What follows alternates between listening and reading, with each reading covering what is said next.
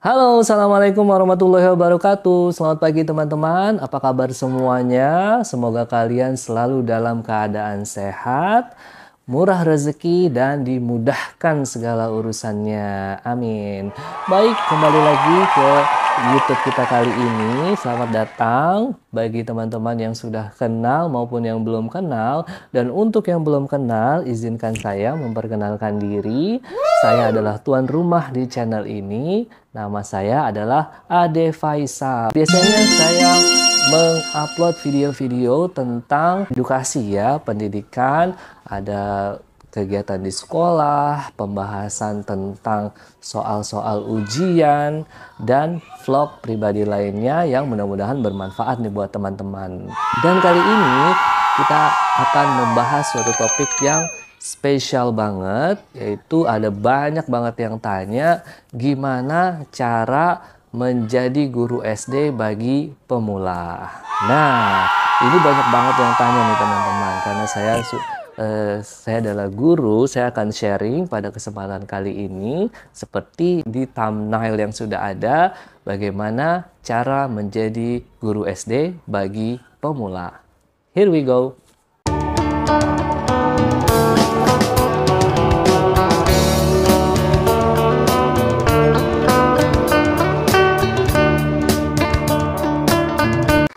Baik, Guru SD merupakan profesi yang unik ya, seperti kita ketahui. Kenapa unik? Karena kan kita ngurusin orang ya, berhubungan langsung dengan manusia, bukan barang benda mati. Kalau barang benda mati, mungkin dia tidak eh, hubungannya kita hanya teman eh, kepada teman kerja, kepada atasan, dan benda benda itu sendiri mati. Sekarang sebagai guru kita berhubungan langsung dengan benda hidup yaitu manusia. Dan kenapa unik juga? Karena pekerjaan kita sebagai guru tidak hanya menyampaikan ilmu, tapi juga kita membangun karakter, membangun habit, membangun relasi, dan apalagi ini adalah anak-anak SD ya teman-teman.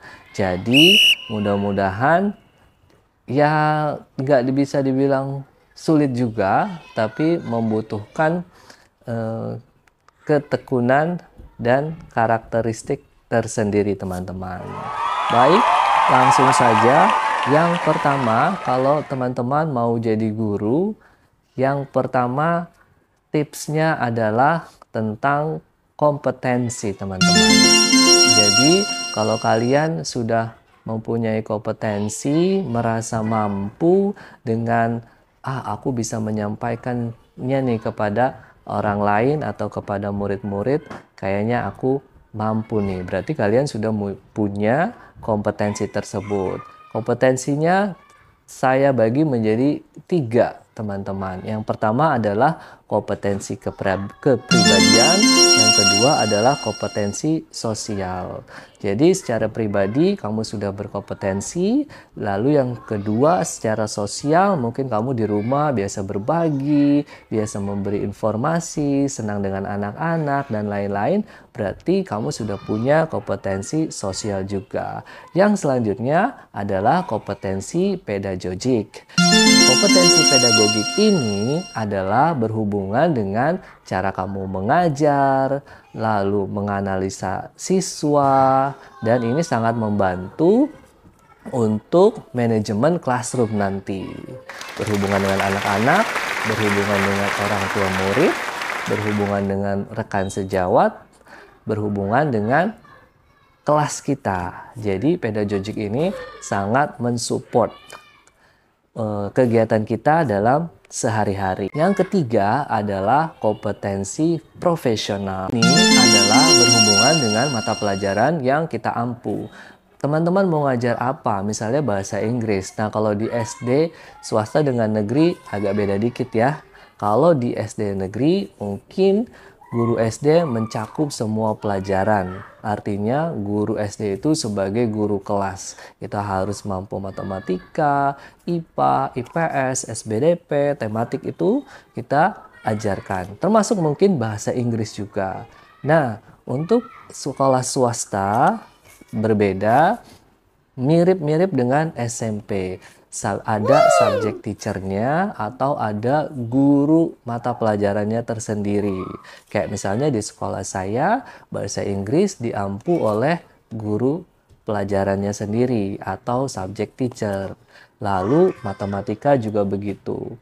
Nah, kompetensi profesional kira-kira teman-teman mau ngajar apa? Misalnya ngajar bahasa Inggris, ngajar bahasa Indonesia, ngajar matematika atau menjadi guru kelas, ngajar tematik dan keseluruhannya.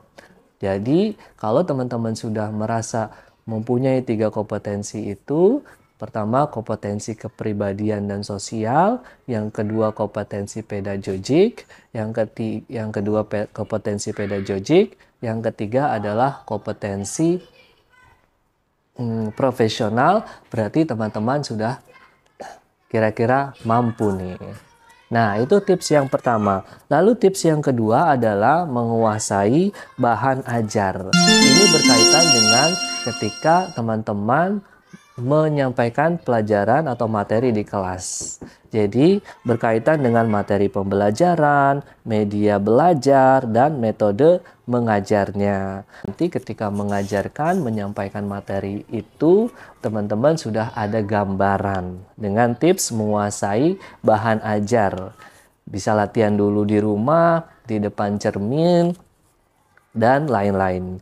Yang ketiga adalah mencari tahu karakter peserta didik. Nah, setidaknya teman-teman sudah tahu kalau ketika teman-teman mau ngajar SD, karakter peserta didik anak-anak itu seperti apa. Itu secara umum. Lalu lebih khusus lagi, mungkin teman-teman mau masuk suatu kelas namanya kelas A.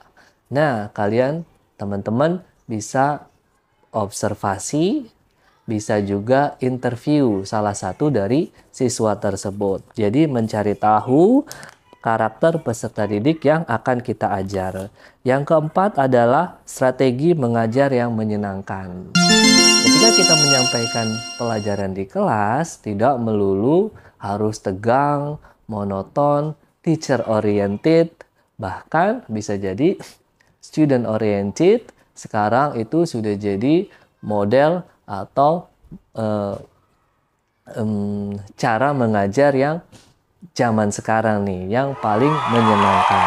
Jadi strategi mengajar yang menyenangkan ini bisa kalian uh, bisa teman-teman persiapkan. Bisa mungkin punya strat satu strategi yang kalian bisa uh, biasa gunakan, maka gunakanlah strategi tersebut. Namun Ketika di lapangan kondisinya berbeda, teman-teman bisa memakai strategi pembelajaran yang lain. Jadi, satu strategi aja mungkin tidak cukup. Jadi, teman-teman bisa mempersiapkan dua strategi pembelajaran yang, yang menyenangkan, satu yang biasa digunakan, yang kedua kalau terjadi apa-apa, teman-teman bisa memakai strategi mengajar yang kedua tersebut. Jadi teman-teman dituntut nih punya banyak referensi metode pembelajaran. Bisa dengar, bisa baca-baca, bisa uh, lihat guru-guru senior, bisa lihat atau nonton video-video yang cara mengajar yang baik dan benar yang sudah ada dari guru-guru senior atau teman sejawat. Dan yang terakhir, menggunakan warming up. Nah, ini juga sangat penting. Warming up digunakan pada awal pembelajaran, di tengah-tengah pembelajaran, atau di akhir-akhir pembelajaran juga bisa. Warming up ini adalah pemanasan, ice breaking, yang bentuknya bermacam-macam. Bisa dengan games, bisa dengan cerita, bisa juga dengan tebak-tebakan gitu ya. Jadi misalnya ice breaking uh, ice breakingnya dengan game sebelum mulai pelajaran main dulu supaya anak-anak terencourage nih. Oh, aku ternyata ada di situasi yang menyenangkan dan dia tidak menyadari kalau setelah ini kita akan belajar. Jadi suasananya mengajak mereka belajar dalam kesenangan. Baik, itu aja teman-teman yang saya bisa sampaikan. Berarti ada lima tips ya. Yang pertama adalah kompetensi, yang kedua menguasai bahan ajar, yang ketiga mencari tahu karakter peserta didik, yang keempat berkenaan dengan strategi mengajar yang menyenangkan, dan yang kelima adalah menggunakan ice breaking atau warming up. Pekerjaan guru ini bukan suatu pekerjaan yang sulit dan bukan juga suatu yang gampang. Jadi tidak bisa disiapkan dengan cara main-main atau e, gimana nanti aja deh. Jadi harus dipersiapkan. Makanya kan ada e, S1 keguruan ya. Jadi teman-teman bisa mempersiapkannya dengan cara menerapkan 5 tips ini. Terima kasih, mudah-mudahan bermanfaat. Kita ketemu lagi di video selanjutnya. Bye-bye. Wassalamualaikum warahmatullahi wabarakatuh.